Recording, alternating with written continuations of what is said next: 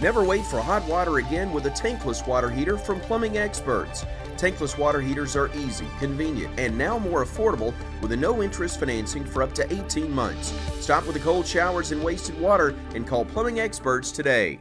Weather Xtreme Video. This is the afternoon edition for Thursday, the 13th of June. I'm James Spann. Tonight will feel more like fall. Going to feel good. We'll stay dry through Saturday, then moisture gradually comes back. Check it out. That is amazing for the middle part of June. An anomalous, deep, long wave, upper trough over the eastern states. And it is just delightful. There's the visible satellite view. Got a field of fair weather cumulus clouds across the state. Otherwise, lots of sun and temperatures way below average. Humidity values are way down. Readings only in the 70s and low 80s in most spots, only 76 for Cullman and Fort Payne. We're going to drop well down in the 50s tonight. Around the nation, pretty chilly for the Great Lakes in the Northeast. We had some folks in parts of Minnesota in the 20s this morning. Uh, that's pretty cold for June, even there. Hibbing, Minnesota had 28 degrees this morning. Here's a look at the watch warning map around the nation. Things pretty quiet. We note a severe thunderstorm watch for parts of eastern New Mexico.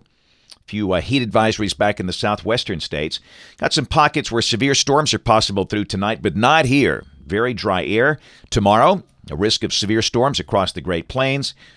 And pretty much the same thing on day three, which is Saturday.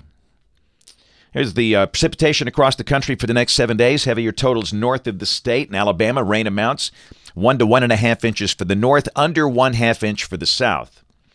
So, model fans, let's go. Here's the GFS, the 12Z run, valid tomorrow afternoon. Upper trough rotating through the northeast, and we are still in very dry air. We start the day in the 50s, the high 82 to 85. Humidity stays low. This is Saturday. There could be a few scattered showers and storms on the Gulf Coast, but for most of the state, the sky will be mostly sunny with a high in the upper 80s. Then Sunday, moisture increases We'll bring in the chance of a few scattered showers and thunderstorms by afternoon. And that's going to be the story for most of next week. Uh, this is Monday, partly sunny. The chance of scattered showers and storms mainly during the afternoon and evening hours, highs in the 80s. Same thing Tuesday, same thing Wednesday. Here's a week from today. This is Thursday, the 20th. Got a vortex over the northern plains, little shortwave west of the state, and again, that would feature a mixture of clouds and sunshine with scattered showers and storms. Let's go out to 10 days. This is Sunday, the 23rd. Pretty good shortwave up north, ridging over the Gulf Coast, and that looks fairly dry for the state with the active weather north of here, if that verifies. Check the European ensemble. Uh, rain, uh, the mean up to about three inches over the next 15 days.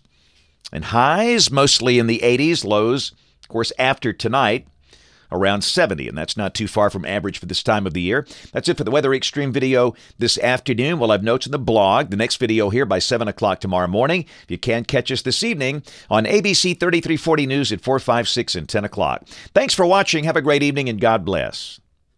Some things in life are just made to go together. Peanut butter and jelly, rock and roll, the sun and the moon. These things got Blake Sanders, the owner of KS Services, thinking, what can we pair with our superior heating and air service to make our customers even happier? Plumbing Experts by KS Services was born. So the next time you have a clogged line, leaky faucet, or water running all through the house, know there's a reputable company out there on call just a click away. Call KS.com, your trusted source for heating and cooling and now plumbing.